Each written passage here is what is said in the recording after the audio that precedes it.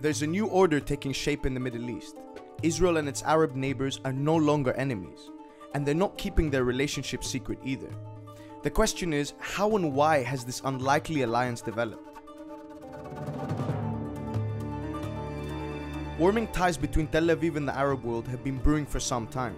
They're arguably rooted in the 1978 Camp David Accords, when Egypt, the then biggest military force in the region, became the first Arab nation to recognize and establish diplomatic relations with Israel.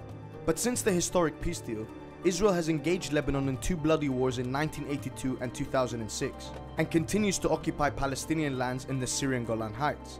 They continue to build illegal settlements in the West Bank and have had an effective siege on Gaza since 2006, punctuated by near annual aerial bombardment. So the scars of war are still fresh for many in the region, making recognition of Israel by its Arab neighbors or public relations with Tel Aviv a taboo. In today's post-Arab Spring counter-revolutionary order, things have changed drastically. In the last few weeks, signs of a new era of Arab-Israeli relations have been popping up all over newsfeeds. On October 25th, Israeli Prime Minister Benjamin Netanyahu visited Oman for high-profile talks with Sultan Qaboos bin Said. While Netanyahu was in Oman, Israeli Minister of Culture Miri Regev, known for her provocative and racist statements, attended the International Judo Federation's Grand Slam in Abu Dhabi, where the Israeli national anthem was played for the first time. She was later welcomed by local officials and given a tour of the Sheikh Zayed Grand Mosque. On October 29th, Israeli Communications Minister Ayub Kara also attended a conference in Dubai. And it's not only high profile meetings, it's public statements and deals. Bahraini Foreign Minister Yusuf bin Alawi recently said, quote, I will say this for the first time. Israel is a state that is present in this region and we all know this. Saudi Crown Prince Mohammed bin Salman, aka MBS, was also quoted as saying, it is about time the Palestinians take the proposals and agree to come to the negotiations table, or shut up and stop complaining.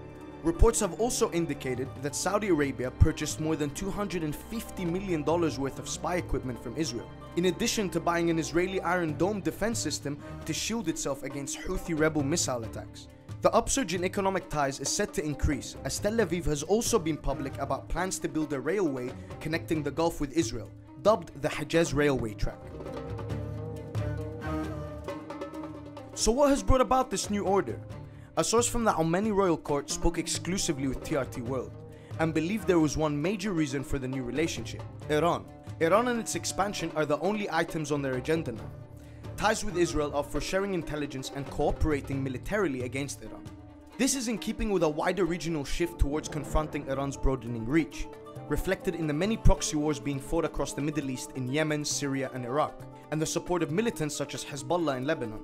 Saudi Arabia, specifically MBS, has been the loudest in opposing this Iranian influence. MBS has even said Iran's supreme leader makes Hitler look good. Because he wants to expand. He wants to create his own project in the Middle East, very much like Hitler, who wanted to expand at the time. The UAE's ambassador to the US also considers the Iranian threat to be, quote, existential.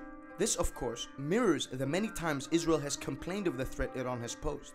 And as they say, the enemy of my enemy is my friend. But Iran isn't the only factor uniting Israel and its Arab neighbors. They are both critical of Qatar for its support of Hamas, the Muslim Brotherhood, and its state media network Al Jazeera. They also both back Jared Kushner's Palestine deal, with countries like Saudi Arabia putting pressure on the Palestinian leadership. And so relations that were once defined by secrecy and taboo are now becoming normalized. The question is, will there be a public backlash within the region and across the Muslim world to this new order?